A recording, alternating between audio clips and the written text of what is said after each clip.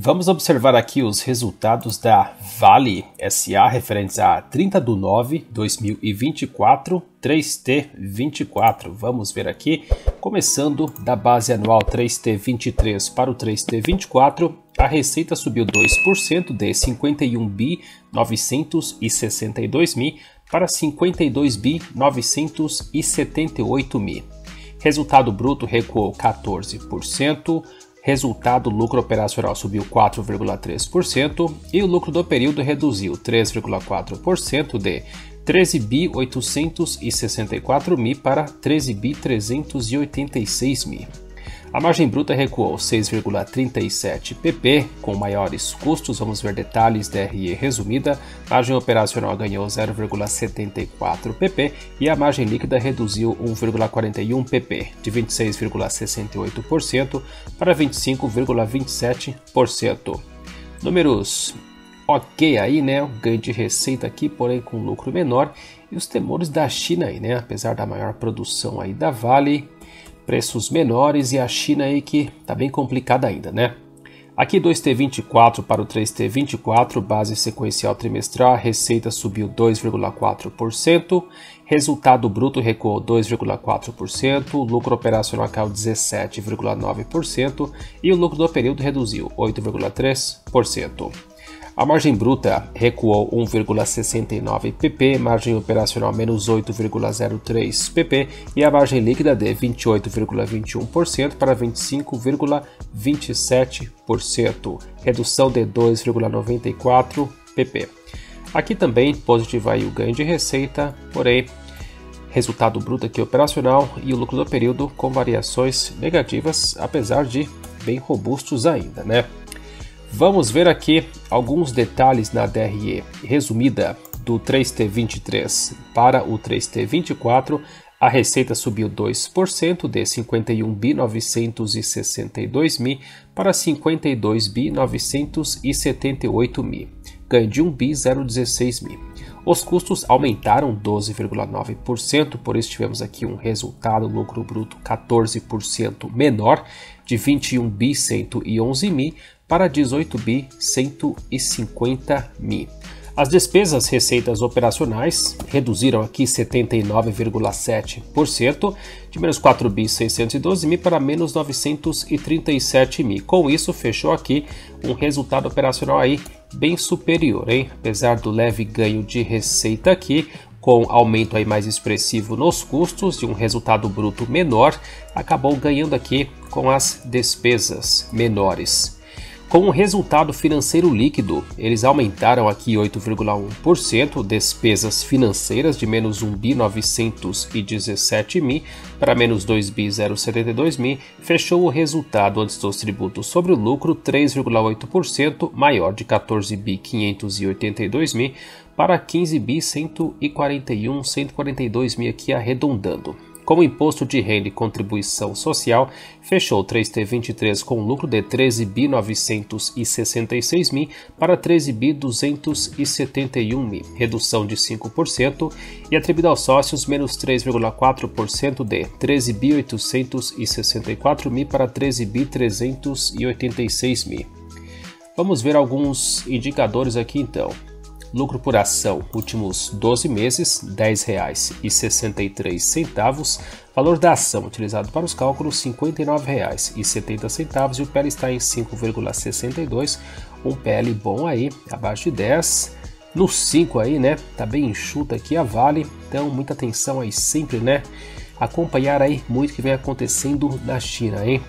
E o PSR está em 1,28, PSR ok aqui também, quanto mais próximo de 1 aí, mais interessante. E o PVP 1,30. Estamos pagando aqui, ó, R$ 59,70 por uma ação que vale R$ 45,95 de acordo com o valor patrimonial por ação. Então, PVP aqui 1,30 e o múltiplo, estamos pagando 29,9% a mais, ok? valor da ação em relação ao valor patrimonial por ação. Então a ação não está com desconto de acordo com o valor patrimonial por ação. Então PVP aqui acima de 1 não está com desconto. Abaixo de 1 indica desconto. E o retorno aqui muito bom, 23,1%, retorno sobre o patrimônio líquido acima de 15%. Então, Tá enxuto aqui o PL, né? Mas sempre olha aí também na China, hein? Porque tá um pouco crítica a situação aí, né? Commodities aí em baixa, o petróleo baixando bastante com os temores aí na economia chinesa. E a Vale aí muito dependente aí da economia chinesa, hein?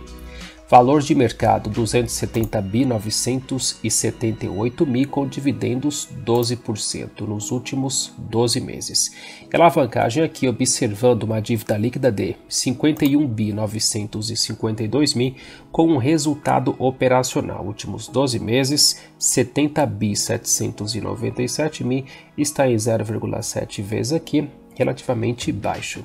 E pelo patrimônio líquido está em 24,9%, considerando uma dívida líquida aqui novamente 51 bi 952 mil, com um patrimônio líquido de 208 bi 555 mil. Tudo certo por aqui. Vamos ver o gráfico aqui. 2024, lá no começo, primeira semana aí não está sendo o ano aí muito bom para a Vale, para o segmento, lá abrindo em 77 e 60 e não conseguiu renovar, hein?